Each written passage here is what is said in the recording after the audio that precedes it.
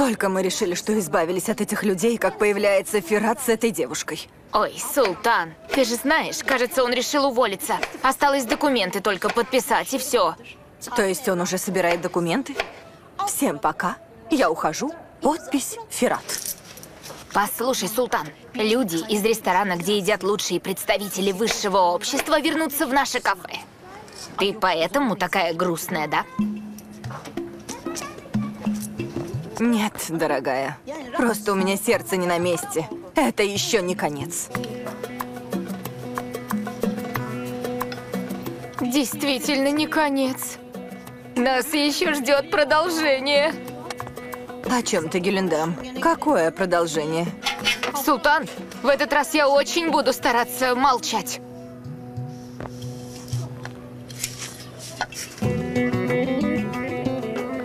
Какой же это теплый, красивый, красочный и уютный район. Просто благодать. Простите. А! Эти люди совсем отставшие от жизни. Я ее где-то видела. Те, кто пытается выжить, познав горечь падения. Эти загнанные в угол, добросердечные женщины. Полные веры, немного суровые, но сильные женщины. Они прошли испытания болью и печалью. Вы станете свидетелями того, как им протянут руку помощи. Увидев их, я приняла решение, что должна помочь им. О чем это она говорит? Я начинаю кампанию поддержки женщин, у которых нет денег. Наш девиз «Мы не одни».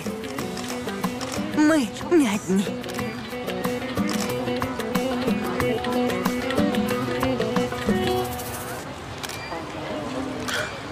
Как она связана с Султан? Откуда она ее знает? Она ее знает? Сюда. Она пришла сюда? Султан, я думаю, она хочет принести нам извинения перед миллионами.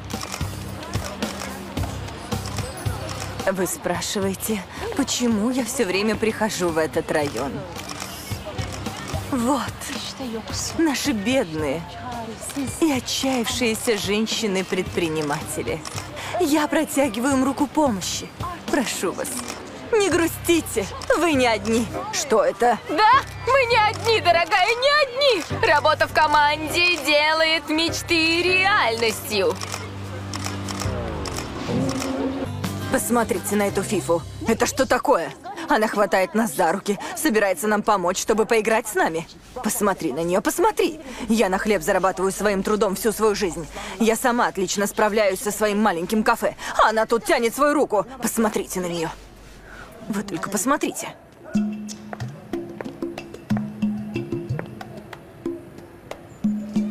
Вы кому? Юли? Сюрприз! Что за вид, Гюлендам? Ай, Султан, мы с тобой почти семья. Никогда не знаешь, когда мы начнем позировать для таблоидов.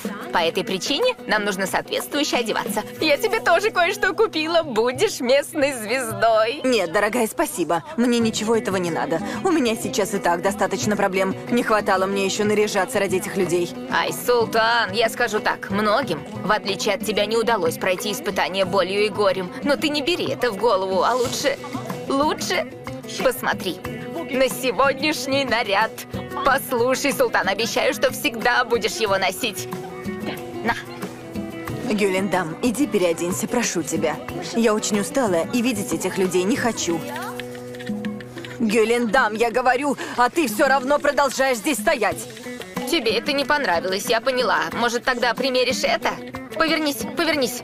Посмотри, посмотри на меня. Гюлендам. Пожалуйста, Султан, ради меня, пожалуйста, прошу тебя. Надо привести себя в порядок. Ты же не хочешь, чтобы тебя называли самой безвкусной в нашем районе? Чем больше ты стараешься, тем хуже.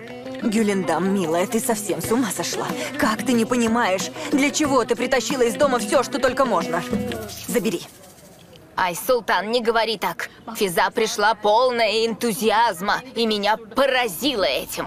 Она почти всех нас здесь выставила неудачниками и сильно обидела. Но я сказала себе, Гюлендам, будь готова ко всему. И если завтра твое фото окажется на первых страницах, по крайней мере, ты будешь хорошо выглядеть. Браво! Как ты собираешься выглядеть богатой в этих тряпках? Ради всего святого! Эх, Султан, это синдром полузнаменитости. Ты и знаменит, и не знаменит. Ты находишься где-то посередине, словно в подвешенном состоянии. Султан, ты же не поддашься кризису самовосприятия и не будешь делиться всякой ерундой в социальных сетях. Обязательно. Я поделюсь. А примерь вот это, пожалуйста, Султан.